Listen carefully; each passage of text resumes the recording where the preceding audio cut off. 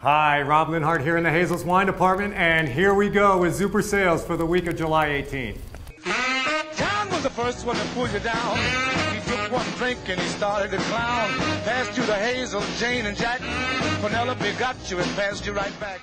First up, it's picnic backpack season, and we've got one for you. This is the aptly named Backpack Wine Company Rowdy Red.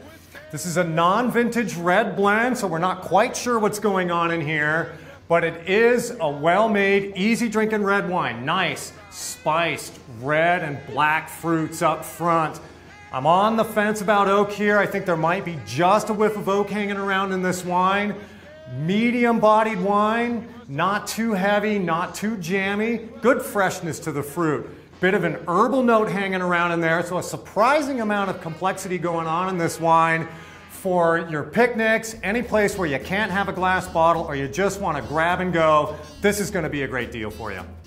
Next up, a solid everyday white wine for you. This is the 2020 Terra d'Oro Pinot Grigio.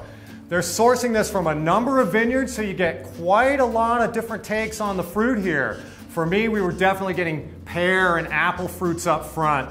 A nice sort of lush tropical note comes through. Think about pineapple and those types of fruits. There is some acidity here, but not the crispest Pinot Grigio out there. Good, round, full-bodied attack on this wine. Carries through nicely, maybe a little bit of California grass. Uh, all around, easy drinking white wine, super versatile for every day. Last but not least, we had a wine from this producer a few weeks ago. Now we've got another one for you. This is the 2017 Verada Tri County Pinot Noir.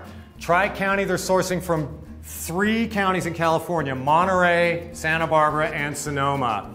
So, again, we get some interesting characteristics from all those areas red and black fruits. I think drifting a bit more towards the redder fruit side, but there's a slightly smoky, darker tone on the back end of this wine that can make you think black cherry, blackberry. Slight tropical note here again. I was kind of feeling pomegranate or blood orange to give a little lift to this wine. Undoubtedly smells and drinks like Pinot Noir, just a bit of oak coming through now, nicely integrated in this wine. A terrific everyday deal on a really well-made Pinot Noir. Was the first one to pull you down. He took one drink and he started to clown. Passed you the Hazel, Jane, and Jack. Penelope got you and passed you right back.